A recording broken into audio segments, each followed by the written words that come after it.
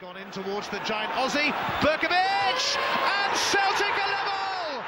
Russo's mistake has let in Viduka, surely for Celtic. Viduka, Berkovic, he's done it